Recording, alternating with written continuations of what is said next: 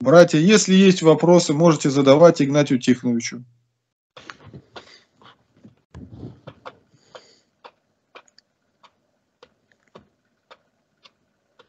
Никого нет, отхожу. Игнатий Тихонович. Есть, есть.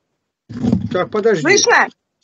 Подожди, это не- Слышно? неожиданность какая-то. Я уж думал, никого и нету.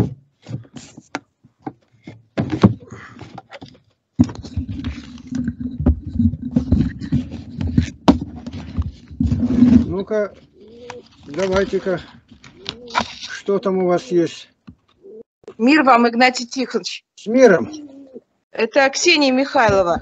Ну да. Меня интересует вопрос. Не участвуйте в бесплодных делах тьмы, но и обличайте. Вот это обличайте, оно и добро для обличаемых, и добро для нас самих, я так понимаю, да? Потому что... Именно так, если мы- Иезекииля 3.18. Запишите, прочитайте. Ну, у меня такой вопрос, сейчас чуть-чуть я подальше скажу. Если вот мы не обличаем грех, то он со временем может стать нам, для нас самих привлекательным, да, я так понимаю? Потому что у меня вот сын подростком, когда был, у него, его вообще понесло, во, во, во все подряд понесло, и я его начала обличать во многих грехах, но их столько много было, что чтобы он от меня не сбежал, я в некоторых грехах его не обличала. И вот где я его не обличала, это для меня потом стало для самой нормой. А где я обличала, это так осталось для меня грехом. Именно для меня. Это так и есть, просто у меня еще второй сын сейчас зайдет в этот возраст подростковый. И, ну, а в подростковом возрасте за все обличать там не получается. Просто ребенок, он сбегает из дома.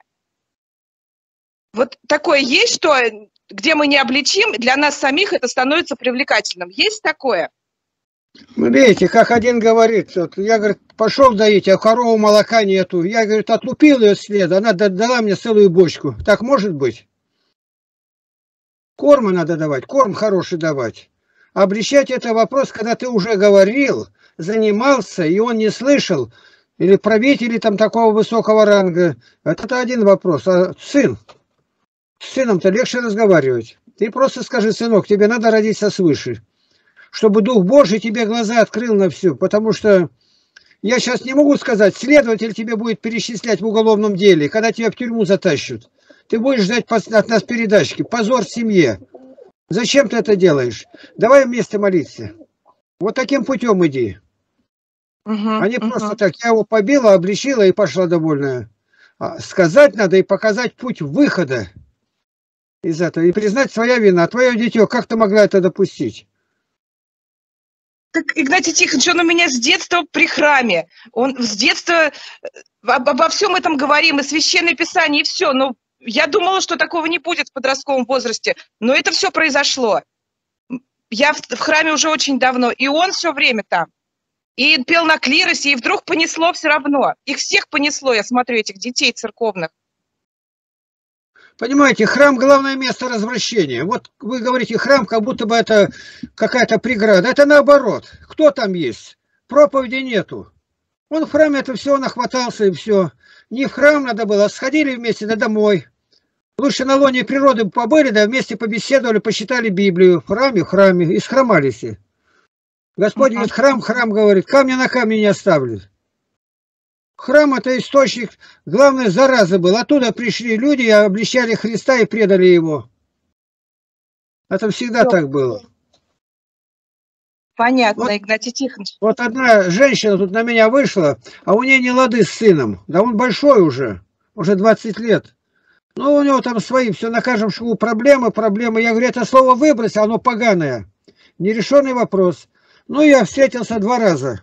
Мать, а с матерью он не разговаривает, там такие очень плохие отношения. Она сейчас зашла и мне сбрасывает. Он, похоже, вас, вы ему понравились. Это такая неожиданность. Он Библию читать начинает. Я ничего не знаю, от меня не зависит. Надо главное корень задеть. Если этого не будет, потом тебе не вернуться. Это коротенькая жизнь, одно мгновение на той стороне. Повторяю, у меня нет религиозного гуманитарного образования. Это помогает мне говорить, беседовать не по той системе, которую Осипов там даст. или там другие там, которые сидят, Дворкина. Живое слово, и ваша жизнь должна подтверждать это. В храм ходить надо, но только в храме он должен знать, не все так, как надо. Когда мы спали, в это время туда Бог набросали дохлых кошек и собак. И поэтому это не наше, надо выбрасывать. Я образно говорю. Я начальник детского лагеря был, детского, отовсюду люди были за границей. Бога не знают, ругаются, матерятся, бывает, наркоманы. Я 45 лет директор. 45 лет. И когда стало уже проявляться плоды, что ребенок не возвращается к прежнему, ни наркотики, ни... И они здоровые делаются люди. Все время, каждый день спортом занимаемся и работаем. Стали родители приезжать. Даже директор Кэстонского института из Лондона прилетела. Ей дали сопроводительного какого-то Юрия Станкина в Москве. И она прилетела в Потеряевку. Ксения Деннон. Я ей книги еще подарил. Она большую статью тогда опубликовала в интернете «Исполнение мечты в сибирских степях». Вот как Господь делает. У меня ничего нет. Приезжают профессора психологии, живут.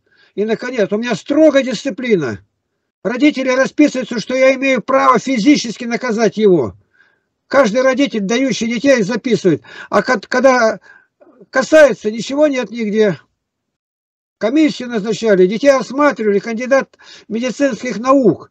Вмешалась прокуратура. 18 краевых комиссий против меня было только. Три или четыре уголовных дела воздвигли. И все лопнуло. Почему? Бог. Бог стоит. Они ничего не могли сделать. Вот как Бог делает, удивительно. И Люди-то делаются другими. Они встречают, а он ребенок другой. Он свою сестренку там гнобил, а тут такой парень, да как это так? Психологи. И, наконец, находят главная движущая сила лагеря Стана у Лапкина. Тире с большой буквы «Любовь». Вот как, от которой, знают, у вас только строгость, нельзя, концлагерь какой-то, а не лагерь. Все в прошлом. Вот как это сделать? Это Бог делает. Повторяю, у меня нет образования ни религиозного, ни гуманитарного. Я беру у каждой страны, где ездил в Америке, возили скаутские лагеря, самое хорошее все у себя применил. Везде, даже сектанты где-то, протестанты, я от них взял многое. Вот как легли спать, даже шепотом ни одного слова. Утром встаем всегда в пять. Где, в каком лагере детском в пятеро? Они, он говорят, у нас два этажа, говорит, на первом мальчике, втором девочке. Приходят воспитатели утром, нижний этаж пустой. Все на верхнем. У нас где для девочек, для женщин отдельные кельи построены. Даже мимо проходить мальчикам нельзя. Вот какие правила. Купаются только брось, пока те не уйдут, другие не подойдут. В церкви лево-право стоят.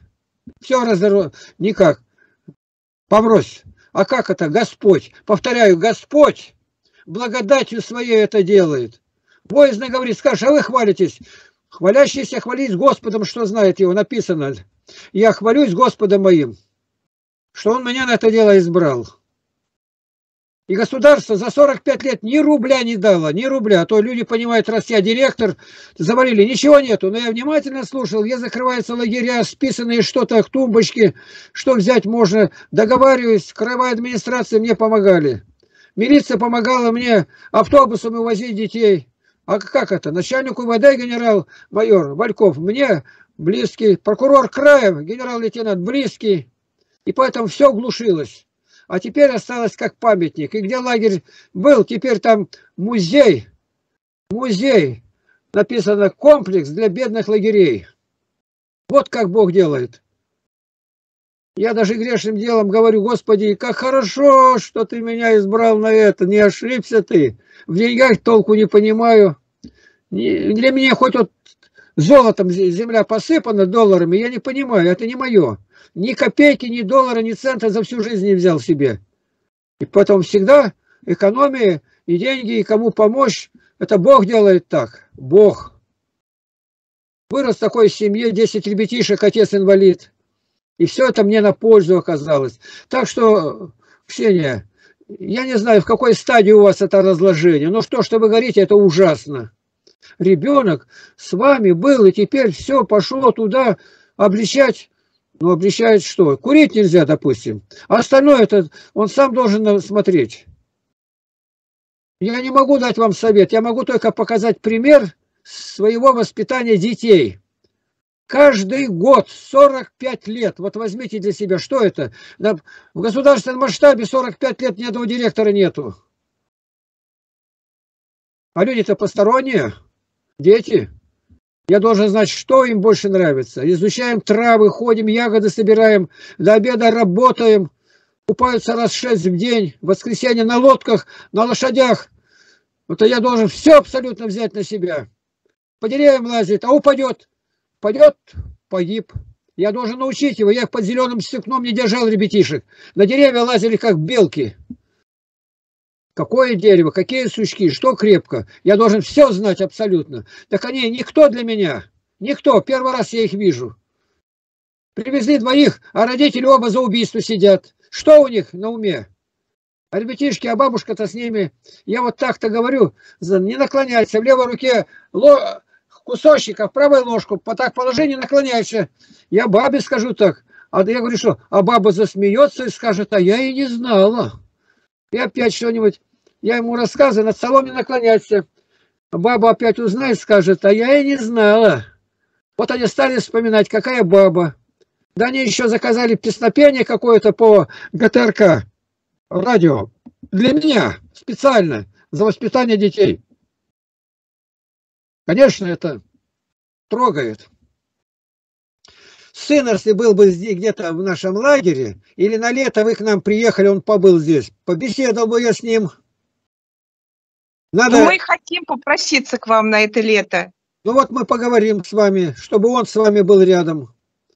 Что да, это означает? Да. Как это? Во что обойдется? Откуда ехать? Далеко нет от Казани. Вот поедет, приедет сюда Семенов, значит, Вячеслав Сергеевич. Он приезжает и с женой, и с Катериной. Ты с отцом вместе крещение принимали, Сергей Николаевич. Вот настоящее гнездо православное. И когда едут, надо вместе, чтобы не одни были в вагоне. Раньше у меня были люди отовсюду, из Прибалтики, из Одессы. И когда едут, потом говорят, едем дорогой, ну, человек 15 ребятишек. А эти проводницы говорят, да что это за дети, ни шума, ни гвалта нет, сидят как старички какие-то, что-то читают, потихоньку разговаривают. Вот какое дело. За ними никто уже не смотрит, хотя воспитатель приехал с той стороны. Так что храм, что не при храме, может, это самый худший элемент. Их одних нельзя было оставлять. Ну вот все у меня, а то я тут разлился, как море. Благодарю, Игнатий Тихонович, спасибо большое. Ну все, с Богом.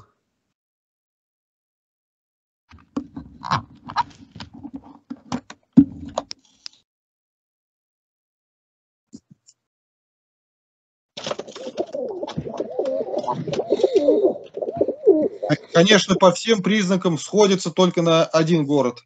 Да, да. Спорили со мной многие об эту тему. Вот я валенки починаю, смотри какие. Да, красивые стали. И вот попробуй а, обвини такого во взяточестве. Вот, это все оторвалось в три этажа заплатки. А у меня шило с крючком. И э, рвет оно. Вот город, даже считать страшно. Поэтому, кто толкует вот апокалипсис, там многие касаются, я считал. Но лучше этого нету. Вот это все вместе собрать и всю историю знать.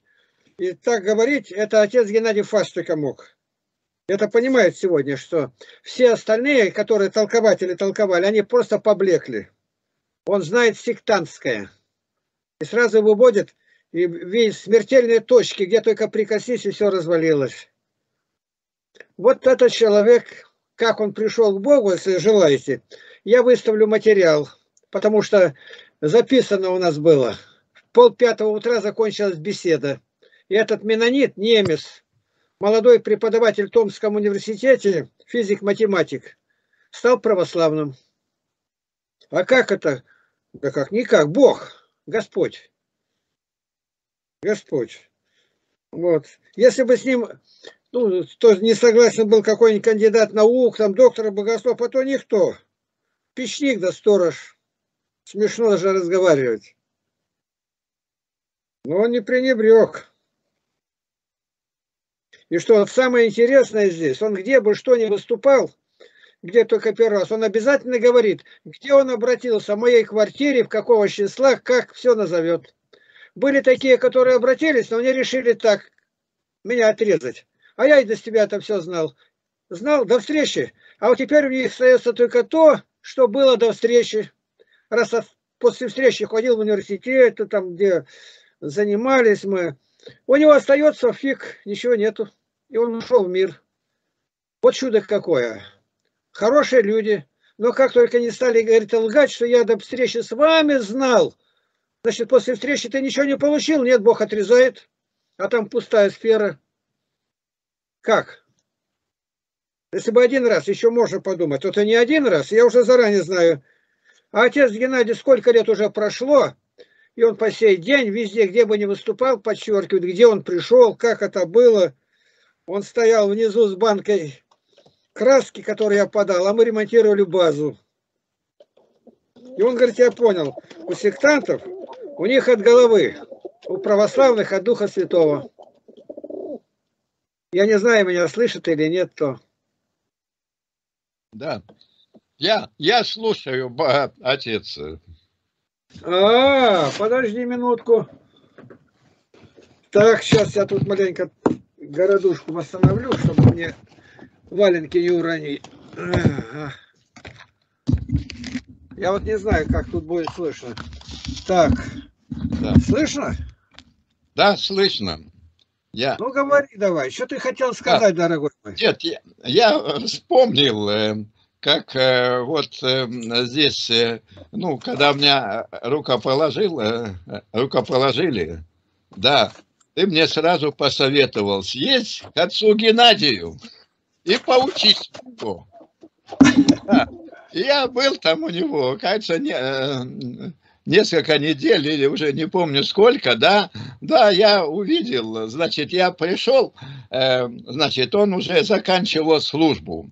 И после службы э, здесь он говорит, сейчас мы будем читать Слово Божие пророком Малахию это там все приход, э, все люди, да, и вот он разъяснял это, да, э, конечно, это было такое э, большое поучение, за что я тебе за этот совет очень благодарен. Но еще, отец, я, у тебя, ты, значит, говорил, у тебя тысячелетнее царство, ты собрал все вместе, где-то она больше, чем 100 страниц. Может, ты мне... Э, я вот не нашел в твоих... Я, я эм, скину сразу, отец Наум. Сразу да, скину. Вот...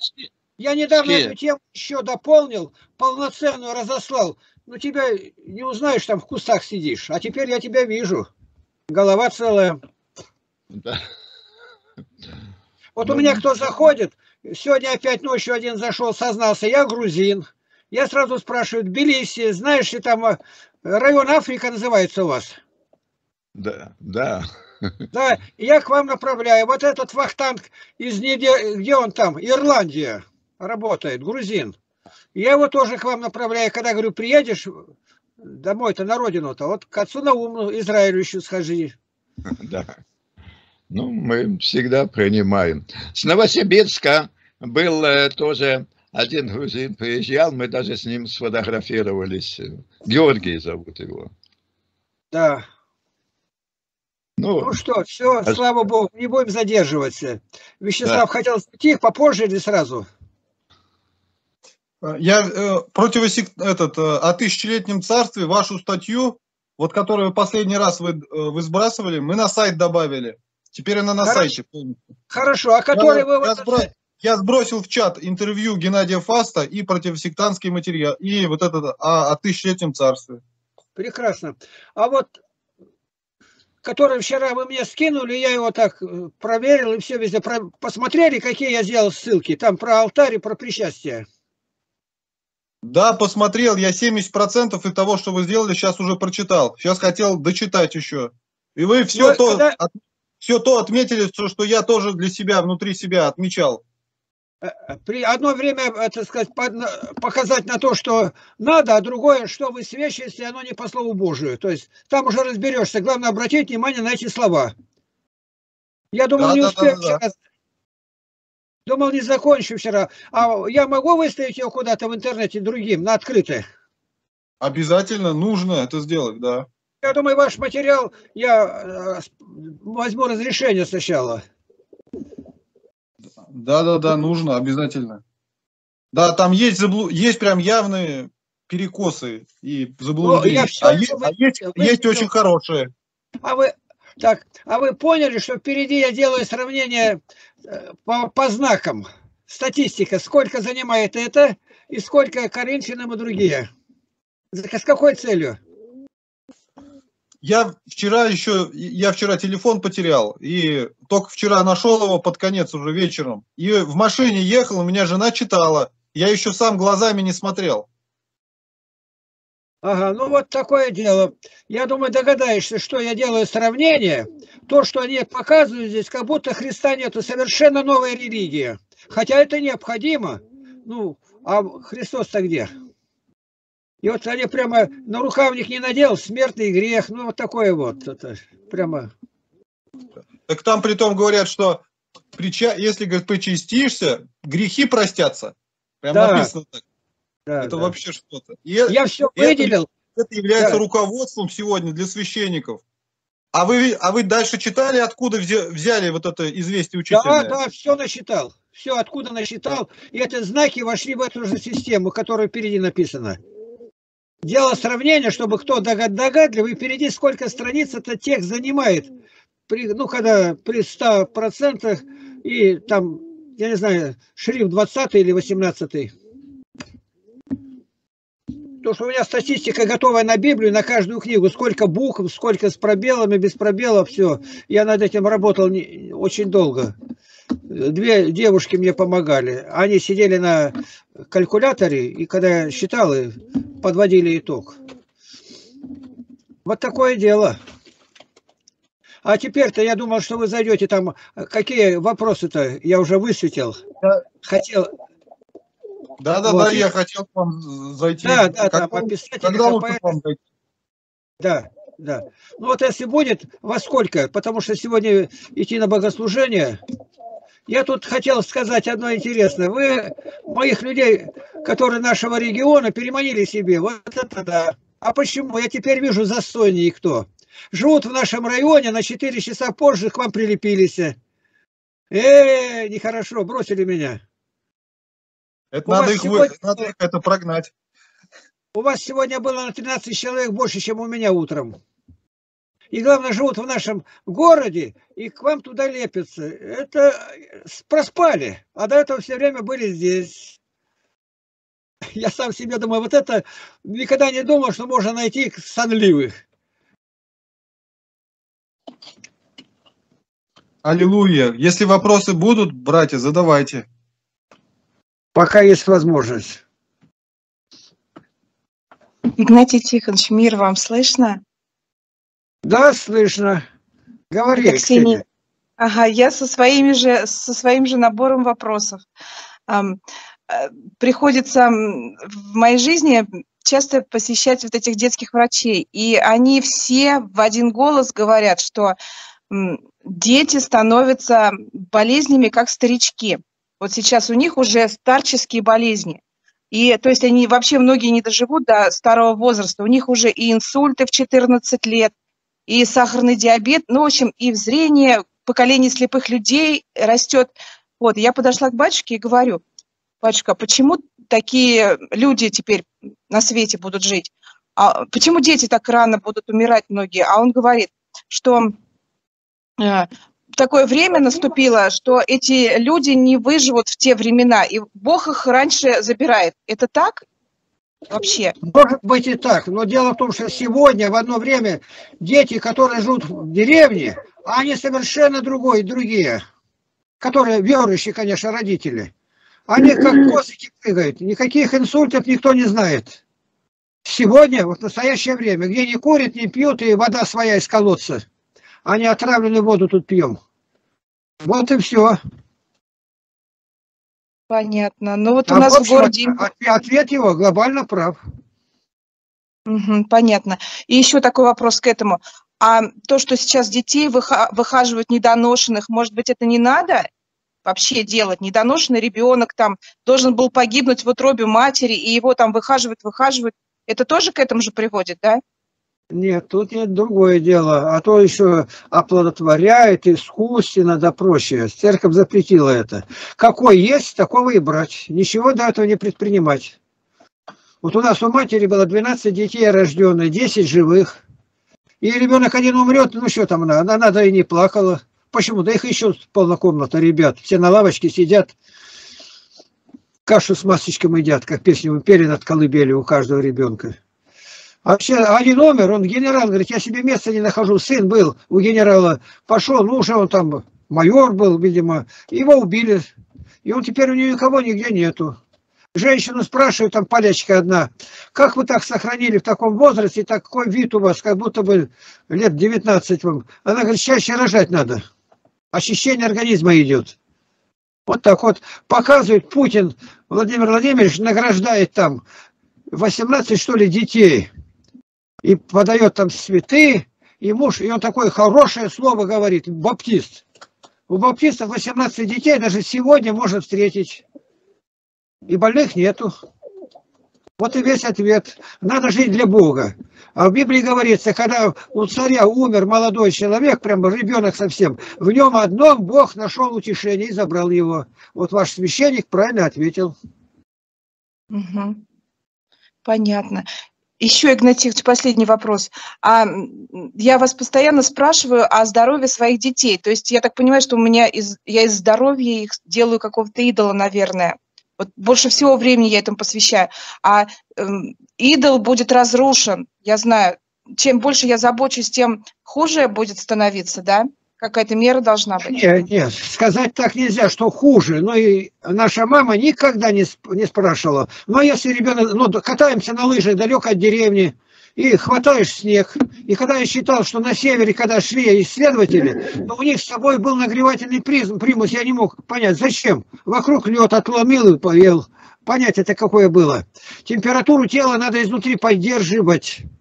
Если вы заботитесь, то надо заботиться правильно. Не только о здоровье, а как послушание родителям, Слову Божию, интересует ли его будущая жизнь. Я вот вчера меня возила, вот я ее тут сейчас не вижу, Елена Гладыщук, возила в поликлинику краевую. Ужас, сколько людей идет. До этого с меня анализы снимали в больнице, а здесь более боязливые, даже не запрещали снимать. Ну, маленько сняли все-таки. И что люди болеют? Я по сравнению с ними-то вообще и не болею. Вот они спрашивают врачи, врачиха, а ей, чтобы не испытывать, а у вас когда что-то, температура как поднимается, насколько? Я говорю, не насколько. Любую операцию мне делали на позвоночнике. Тяжелая операция, температура не грамма. И давление одно и то же стоит. Это вы что, ну проверим, проверила, ну маленько там где-то вы, выше есть. Ну выше я сижу здесь у вас, наглотался дыму-то этого. Вот так. И поэтому здоровье это все-таки от нас зависит. Вот такой был антихрист на русской земле Иванов Порфирий Корнеевич. Холодной водой обливались. Он говорил, главное, болезнь в тело не впущать. Вот и он говорил правильно. И поэтому, ну, курица потуга- поду- кудахтала, там цыпленка утащили, все, а у меня еще 12. А если одна, один цыпленок, то она будет целый день его искать. Надо чаще рожать. Это так говорят они. Я не говорю этого. Я говорю, что горе, которое имеют в чреве, сосами питают. Горе. И блаженны сосы не питавшие. Выйди замуж, женитесь, будете иметь скорби по плоти, а мне вас жаль. Павел говорит. Ну, надо к этому прислоняться. А если уже женился, а контрацептивы там разные, предохранительные, вот, ну и дальше сем- семья какая должна быть, они распределяют специально. Этого не надо ничего делать, это убийство. Если один аборт сделала, на 10 лет отключается женщина. Правило Василия Великого второе. Мы должны все-таки ориентироваться на священное писание, по которому Бог будет нас судить. Я вчера насмотрелся всего, и проповедь, у меня около 40 наметок сказали на проповеди говорить, а я скажу о смерти. Что такое смерть, что такое умирать?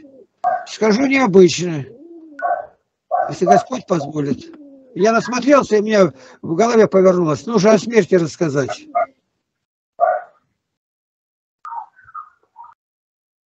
Спасибо ну, вам, Игнатьевич, благодарю вас за стихи. Вы мне там кинули про здоровье. Благодарю вас очень сильно. Так Прямо я вот... сейчас... На меня вышла Екатерина Можина, и у нее есть связь с Рахилью Загидулиной. И она попросила написать ей, а я, говорит, передам. Потому что я писала, она уже закрыла там свой чат. Уже разные предложения есть. Вячеслав ушел?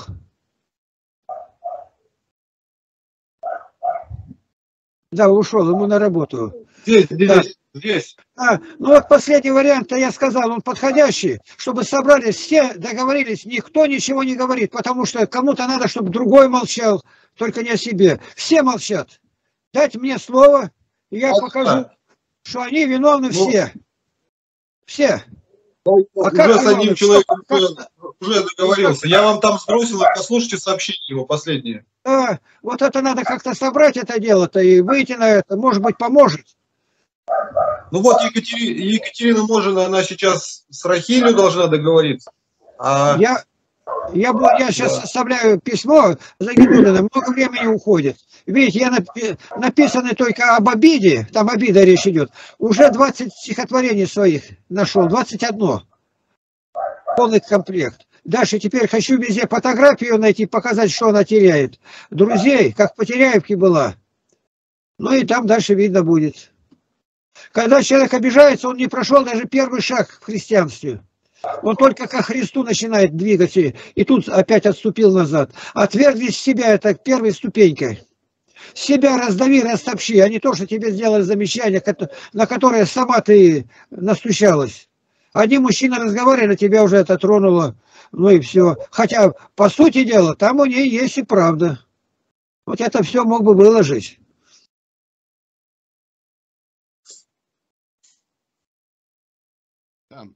Вячеслав, слышно меня, да? Да, да, да. Да. А первородный грех. Здесь вот по грехах родила меня мать моя. Значит, вот мы э, здесь э, рождаемся. Здесь вот это э, э, первородный грех. Э, здесь от греховного в Адаме все согрешили, а во Христе все оживут. Вот отец э, э, появился э, здесь. Вот пускай он разъяснит нам. Приветствую тебя, отец. Добрый день. Да. Ну вот э, сейчас э, мы вот рассуждали, да, вот здесь Вячеслав привел э, пример, что э, здесь Давид говорит, э, Э, во грехах меня родила мать. А вот э, первородный грех, э, здесь мы, здесь плоть Адама у нас. Здесь, поэтому вот этот первородный грех у нас, да. Ну и, конечно, уже потом уже рождение выше, свыше и смерть. Разъясни нам это, отец. А чего тут разъяснять, когда все сказано? Тут разъяснять вообще нечего. От орла родится орел, от грача грощ, грач, от курицы курица. И потому написано, и родил Адам Сифа по образу своему. Вот где начинается. Грех проник во все миллиарды клеток. В Адаме все умирают. Вот это все написано в Адаме. А сколько умерло? Подсчет показывает, что больше 100 миллиардов. Все смертные. Ребенок родился, он растет, он уже умирает. Да. Вот так. И все тут во Христе. У людей нет понятия даже о спасении никакого. Я не говорю о ком-то, о православных.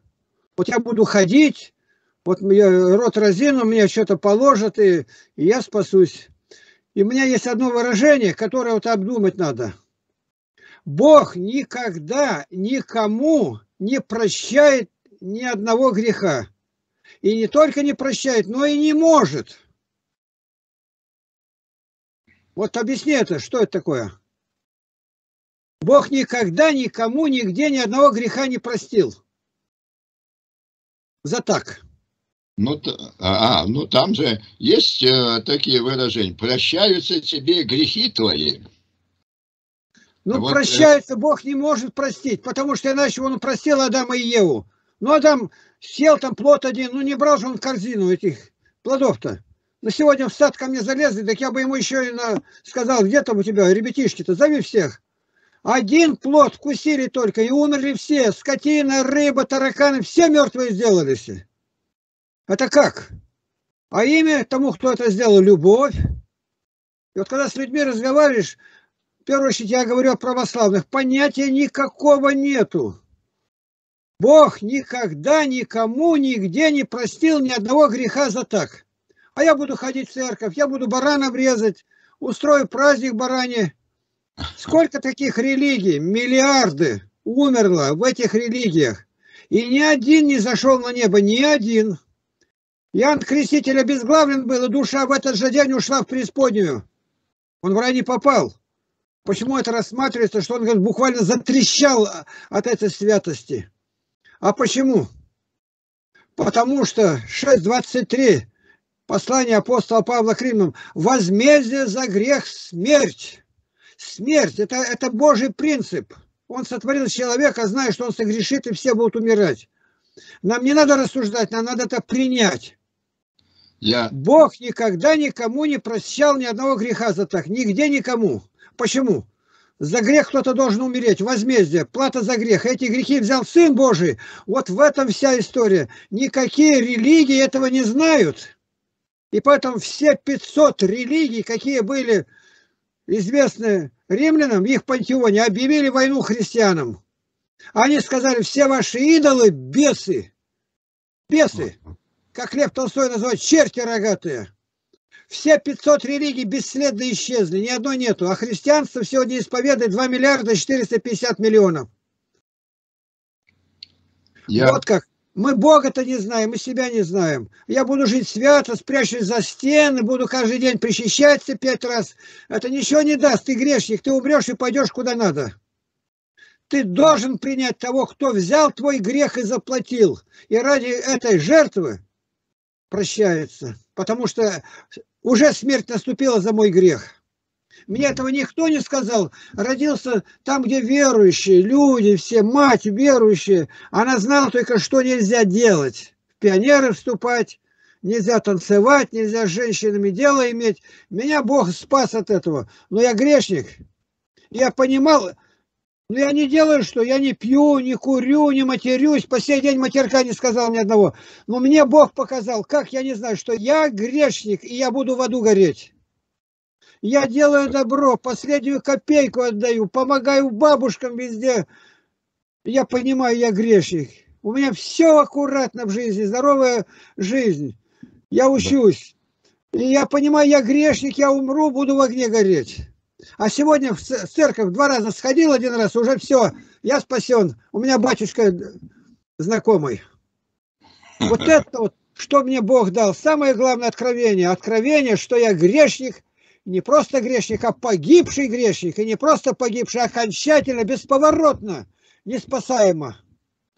Почему мне нравилось, где что про Бога говорят, я бежал, записывал. Ни одной книжки настоящей не было. Евангелие мне дали первый раз, 27 сентября 62 году, 23 года мне. И когда хозяева зашли из комнаты, а у меня я сидел с Новым Заветом, меня не надо было уговаривать. Моя вся внутренность кипела. Господи, ты нашел меня, а я тебя нашел. И мы склонились. И в первой же молитве Бог дал мне рождение свыше и крещение Духом Святым. Никто про это мне не говорил. Почему? Я встретил того, кого искал. А сегодня ему сто раз говоришь, а ему нужды никакой нету. Кто-то что-то сказал, ушел, принял крещение, а оглашенных был, помогали ему снабжал его книгами бесплатно. Он раз, и как будто его никогда не бывало. И это не один. А почему? Хорошо, что освободились. Это лишний балласт. Нормальный юноша, нормальный ходит, принял крещение у нас, вот исчез, как будто никогда его не было. Где он, этот человек? А если ты верующий, у тебя все это будет развито. Какие плоды духа известны. Сегодня особенно развиты дух зла, неблагодарность. Хоть что делай. Я просто, ну, как не похвалу хочу сказать, почему ты оказался благодарным? Да. Почему ты нас так встречал? Я только захожу еще весь в пыли. Ты меня уже в алтарь и перед народом уже лучших переводчиков даешь. Да. Теперь это не понимать. Как да. у нас на в пути мы едем. Встретились, мы сейчас садимся, у тебя уже все бабки с корзинками, с разными лаваши, все принесли, снабдили, загрузили. Почему? Тебе Бог открыл. Вот это старайся людям дать понять. Да. Это надо быть избранным на это. И тогда все станет на место. Все. Не надо Да. никаких доказательств. Не надо. Бог мой сказал мне. Бог мой положил на сердце. Почему Златоуст говорит, совесть первичнее Евангелия? Она была, когда Евангелия не было. А почему? Две тысячи с лишним лет как существовал мир, если ни одной буквы не было написано Моисеем? Совестью. Вот совесть это вот, это что надо заложить в ребенка. Он немного не понимает. Ему много не надо. Ты пробуди его совесть и скажи, это от Бога дар. Человек от природы, да вот он такой-то, да эволюция. В эволюции в природе нет ума и нет совести, а в человеке то и другое. Вот как разговаривать надо с безбожниками, материалистами. Откуда? Бог дал, Бог. У совести только человек. И, конечно, ангелы.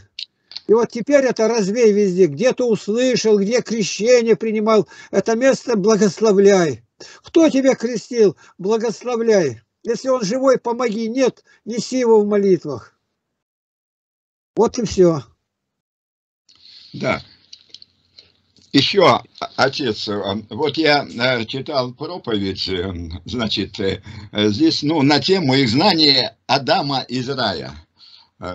Значит, здесь э, Бог дал возможность Адаму, там мысль такая, Адаму покаяться. Значит, э, когда они э, уже согрешили и увидели, что они наги, они скрылись в кустах там где-то. И тогда Бог говорит, Адам, где ты? Да, вот здесь, ну, говорит, я наги скрылся. Ну и вот э, здесь вместо того, чтобы покаяться, да, вот э, он э, вот э, такой э, ответ дает. Ну, Но вот его здесь- покаяние, если бы он выскочил из кустов голый сказал, Господи, я согрешил, он, Господь бы сказал, прощаю тебе, прощаю, то есть еще Во. ты будешь 900 лет жить, но в рай ты уже не войдешь, ты будешь ждать того, кто этот грех понесет на себе, ты там будешь. Почему разбойник первый вошел туда? И вошел потому, что Христос уже умер, умер, разбойник умер попозже, на полминуты может быть. Вот что надо людям дать понять, кто такой Христос. И поэтому религии, мы о религии вообще не разговариваем. Мы говорим о жертве. Вот агнец Божий, который берет на себя грех мира. Люди крестятся и выходят из воды, а там идет Господь, и простертая рука Иоанна говорит, вот он идет, агнец. Ягненок идет, и все грехи мира не раздавили его. Его жертвы хватило бы, тысячи галактик были наполнены такими земными шарами, и там были бы такие же миллионы людей, хватило бы жертвы. Поэтому это было что-то невероятное, что Отец Небесный, как бы единство Троицы разорванное, Отец мой, для чего ты меня оставил? Это мысль такая. Вот мы должны в это проникнуть, а все остальное там уже это идет легко. Отвергни себя. Кто-то что-то сказал, сразу забунтовал. Что ты лезешь? Авторитет потерянный. Вот я обращаюсь к опыту своей жизни. Никогда, нигде никто не говорил о жертве Христа. Но никто мне не говорил, что я делаю добро, и мне там хорошо будет. Никто. Совесть подсказывала, я умру и буду гореть в огне. Вот чудо Божье это. И поэтому такая радостная была встреча. Я вставать хотел не с, колен, не с колен. Корабль стоял на рейде. И в это время я уже стремлюсь на корабль и первому матросу говорю, живем неправильно. Христос умер за нас. У меня блестящая характеристика. Учусь в высшем мореходном училище. Добился разрешения сдать три курса за год по выбору комиссии на одном из трех иностранных языков. А в душе пустота. И в этом первому матросу говорим, говорю, живу неправильно. У меня такие характеристики везде. А тут сразу, к утру весь караван кораблей узнал, Лапкин сошел с ума. Вот в этом сошел с ума, 60 лет живу. Да. Но вот, ну еще вот у меня мысль появилась. э, Значит, вот икона, здесь сошествие в ад. И здесь, как он выводит э, там и Адама, и Еву, разрушил двери ада. А, Да. Первое послание Петра, 4 глава, 6 стих говорит, для того и мертвым было проповедано, мертвым. А 21 там стих и говорит, 3 глава, почему? Кому? Которое во время Ноя, спасения там восьми душ, свидетельство было, которые наказаны были по плоти, но жили духом. Они дождались, ад осиял, и Христос проповедовал там. И вот почему мы празднуем воскресенье, а не субботу. Суббота означает шаббат. Шаббат, покой. Ну, шаббат. А какой покой? Бог сотворил все в шесть дней почил. А чтобы спасти душу, там сказал только да будет, и полетели галактики, солнце. Здесь надо было выкупать человека. И поэтому он в пятницу распятый, в субботу он проповедует, и отдел своих почил в воскресенье. День покоя, шаббат духовный, поэтому мы его празднуем, не забывая про творение в субботу. Первые христиане отмечали шаббат, субботу и воскресенье. Ну, можно сказать, что воскресенье – это уже э, вечный покой. Да, субботство народа Божия. Да. И поэтому проповедовать очень легко. Вот вчера мне, я не знаю, Вячеслав-то, наверное, ушел здесь. Он дал, я не знаю, то ли я успел или нет. И он говорит, тут один мусульманин принял крещение, хороший парень, но он не знал, что он крапленый, что крещение не настоящее было. А в это время он мне звонит. Ну и естественно, что я ему все материалы скинул. Какой он благодарный, он ушел, уже смотрит. Нет-нет, да опять брякнет, видимо, что-то новое. И опять, я благодарю, да вы отец там. Первый раз. Ну, конечно, ему и сказали, какое должно быть крещение и прочее. Вот как. Он был одно имя, а ему дали имя другое. Не буду я говорить тут. Если кому охота знать, позвоните мне. Ну вот, э, отец, он, наверное, по, вот сошествие в ад э, здесь, э, это вот это Петра, э, э, третья глава. Значит, э, они, это только те, которые восемь душ э, э, до Ноя, э, значит, или все праведники, которые... Нет, э, вот там толкование Виссарион дает такое, что люди понимали, да, тем проповедовано было, кому-то нет. Ну, а те, которые строили, помогали Ною, ну, они-то там в аду покаялись или нет? И поэтому он а, упор делает на это, которые во время Ноя, строения ковчега.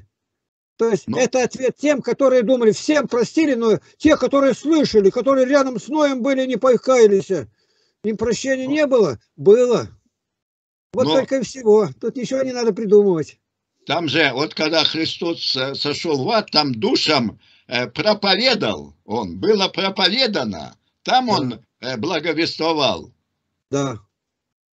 Ну, если они там э, уже э, там находили, приняли Христа, конечно, они э, могут, э, сколько там праведников э, здесь, э, и, и, э, здесь до Христа э, было, которые ожидали своего Мессию.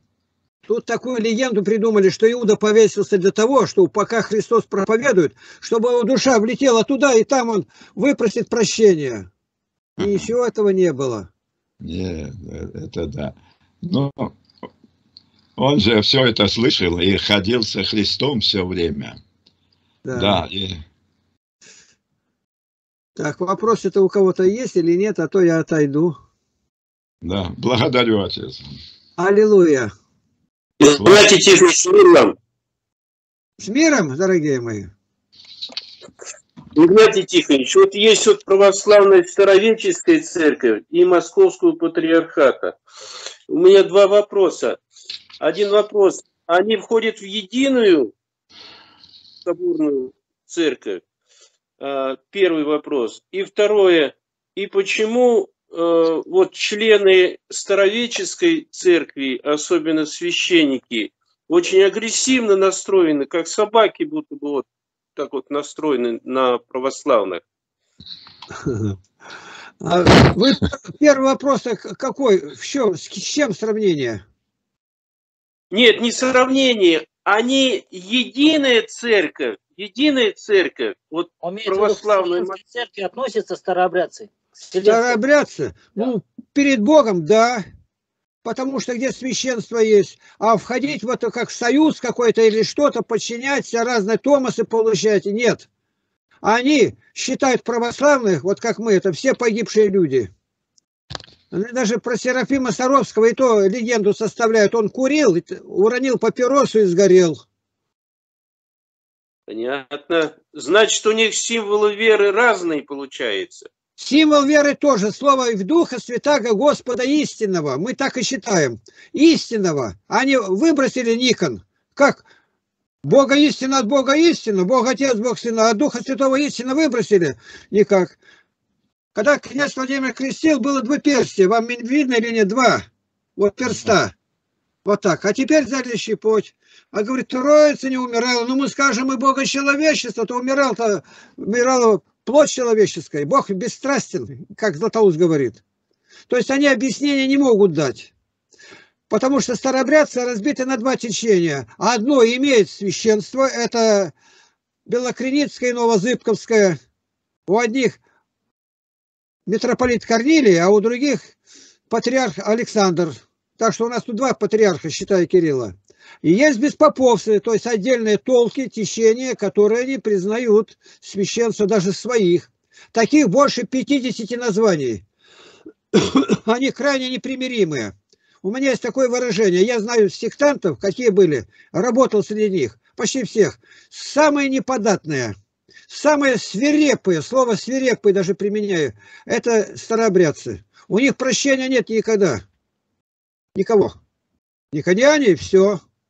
Ему доказывать ничего не докажешь.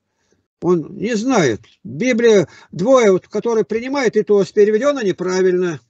Никоньяне, то есть это православные, перепортили все. Я говорю, вот Златоуст 12 томов. Не надо, все Никоньяне перепортили. Ну, а вы-то что не переводите сами? Нету. Я их знаю очень хорошо. Это то гнездо, откуда я произошел. Беспоповцы, киржаки. Ответвление от Волги есть поток Кержа. Откуда распространились они? Никоновская реформа, он решил все сделать как у греков. Самое безумное явление в России. Вот и все. Разделили народ русский пополам. Промасонились до мозгов. Я с ними имею общение. У них нет. Он трижды скажет, прости Христа ради, но не прощает. Они всякие выдумки делают. Написано, конь ненадежен для спасения. То есть ты на него опираешься, а у них перевод славянский такой, это ложь, конь во спасение, то есть лживый конь, он тебя не унесет, они ложь, конь во спасение, то есть на лжи можно въехать, даже это говорят. И поэтому на каждом почти шагу лгут. Его нельзя ни, никак.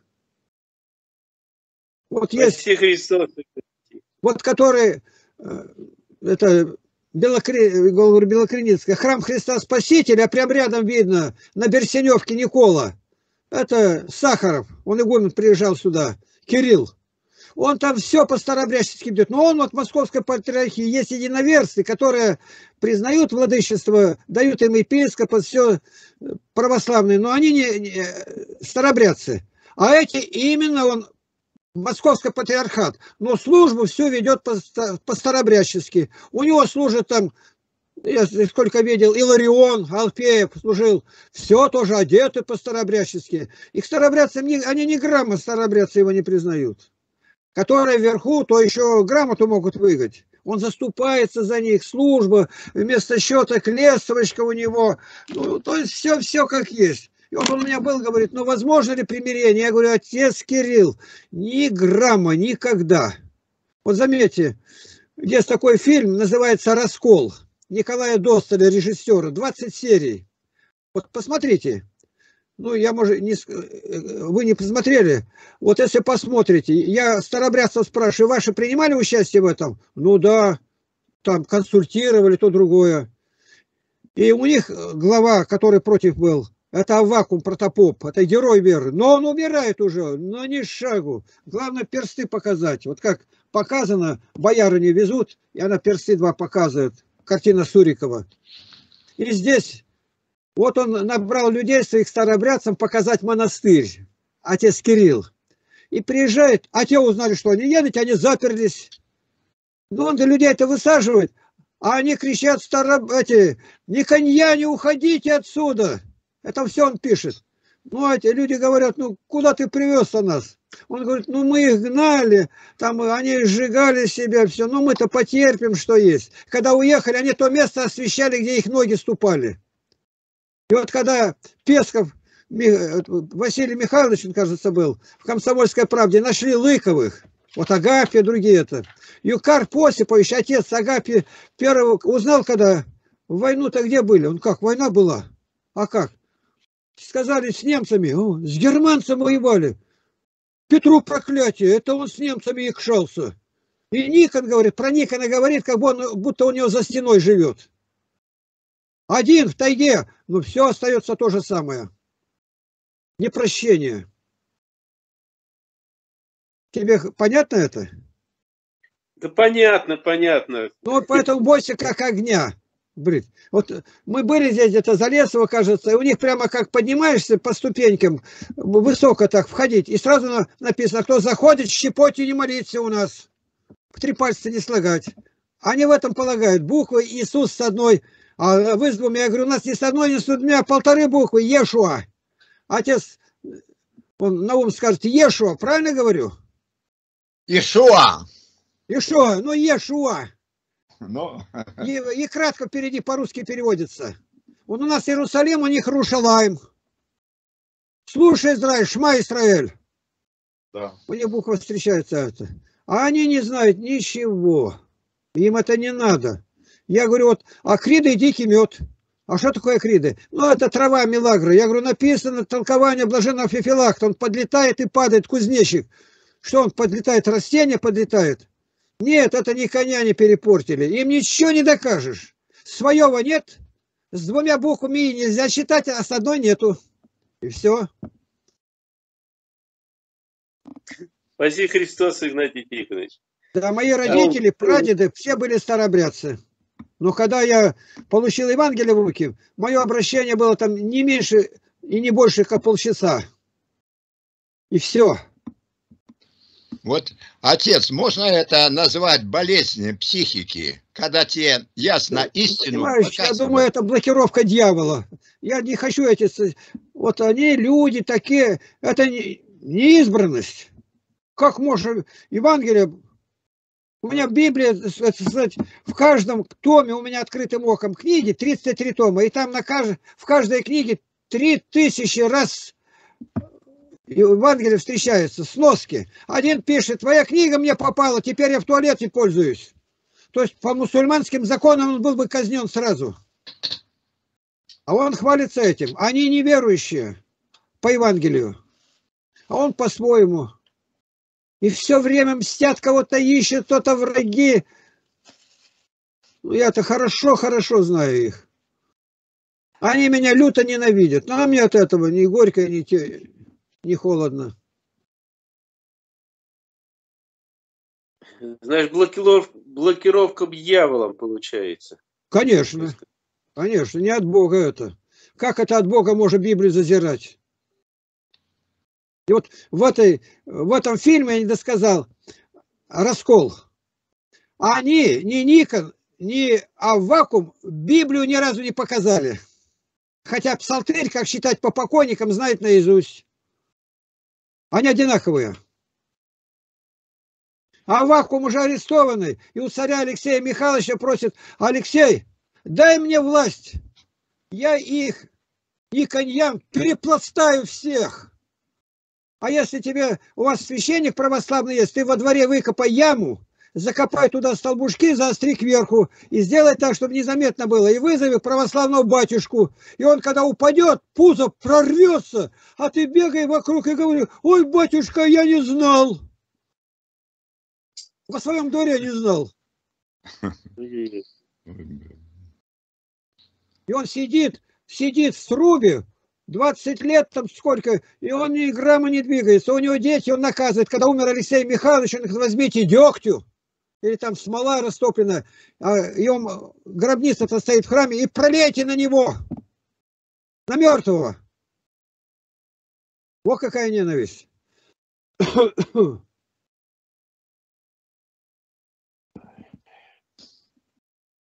Так, все, ушел. Если есть какие-то вопросы, братья, задавайте. Пока на связи.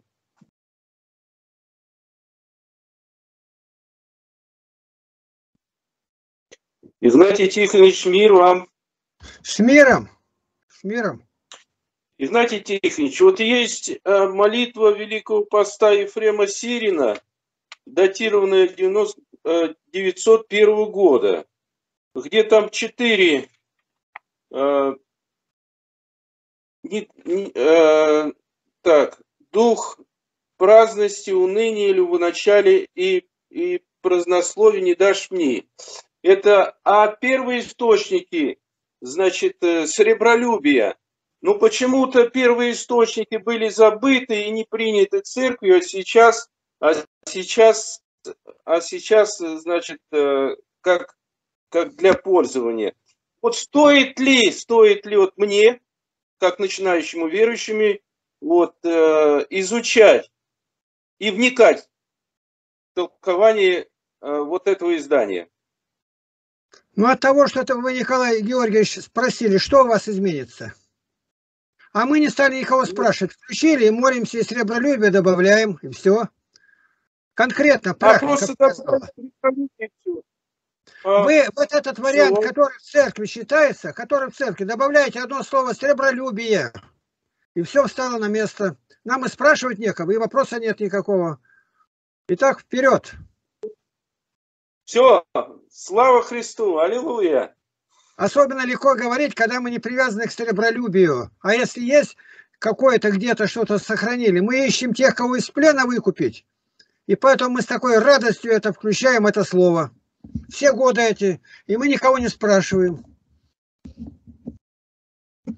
Все. Понятно. Спасибо.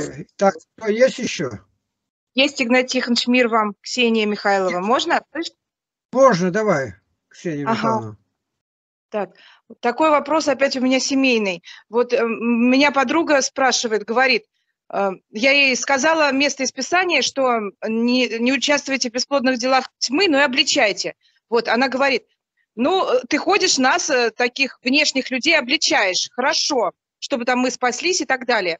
А почему ты не обличаешь своего мужа?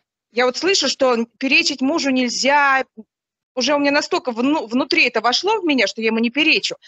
И получается, что я его никогда не обличаю, ни за что. А он от этого моего необличения все сильнее и сильнее утопает в более тяжелых грехах. Вообще вот просто безумным становится. Говорит, почему ты его не обличаешь? Он у тебя идет в ад, а ты молчишь. Вот. Говорит, я говорю, ну, понимаешь, он меня за это может стукнуть просто она говорит, ну ты не боишься, что мы, ты нас обличаешь, потому что мы тебя, не, мы, мы тебя не стукнем, а его ты не обличаешь, потому что он тебя стукнет. Ну, ты как верующая, ты же не боишься умирать, ну пусть ты его обличай, он тебя там убьет, это же ничего страшного. Или вы-то неверующие, что вы боитесь смерти, вот что ты боишься тогда умирать-то? Вот, и второй вопрос сюда же. Слышно? Слышно меня?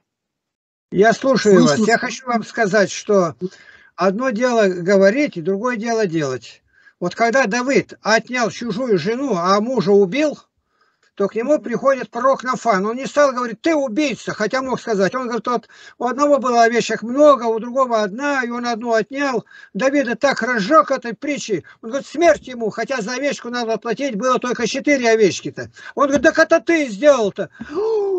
Все, подойди к нему, к мужу, умно подойди. Ты не имеешь права его учить, правильно? Павел пишет Тимофею, учить жене не позволяю, не властвовать над мужем, но быть безмолвием. Но какую-то притчу найди. Одна вот так вот, он а, уже там с другой сошелся, я слышал рассказ такой, а он ее очень сильно любил, а тут даже она кроткая-кроткая тогда, она говорит, я не против, что ты там женщины, я попрошу тебя одну просьбу выполнить. Какую, Ксения? А Ксения ему отвечает, последний раз со мной прогуляемся вместе. Я тебя очень люблю, Костя. И они пошли, погуляли, и обратно она дошла, когда уже входить надо на третий этаж, и говорит, я не могу идти уже давно, у меня ноги не поднимаются. Он ее на руки взял, а там ничего нету, она уже вся высохла. И она этим его обратила. Когда он принес ее и положил на кровать, это последний раз он ее видел, как он плакал. Как он теперь хватался за каждую минуту. Так что, Ксения, подойди с любовью, не обличая, а так, чтобы видно было, что ты его любишь. Вот обдумай, как это сделать. Вот как Нафан сделал, как обличил Давида, пророка. И Давид... А кто Сталина обличил? Мы не знаем. Кто обличил, те пошли в ГУЛАГ, а иных распяли. Поэтому надо быть благоразумным. Вопрос хороший. Подруга ваша правильно сказала. Начинай работать над собой, и мужа старайся не потерять. С Богом. Угу. Спаси Христос, Игнатьев.